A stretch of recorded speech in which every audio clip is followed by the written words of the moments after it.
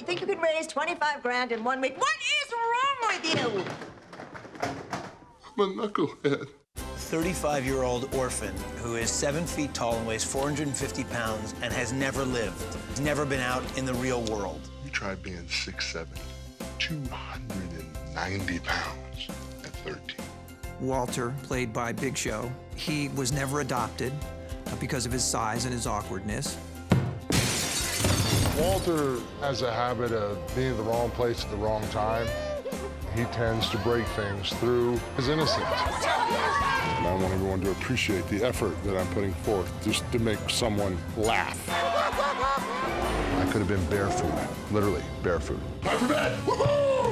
It's a fun-filled family comedy. There's gonna be jokes for everyone. Everyone's gonna laugh. Everyone's gonna have a good time. Wow. There's something you don't see every day. That's showbiz. But it's funny. Duck treat. This movie has fart jokes. Nobody can resist them.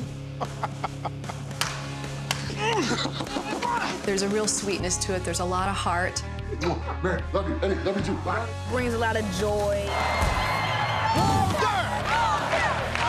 I just think it's got every aspect of a family movie times 10. Smart man. Come on, come on. Come get some knucklehead, baby.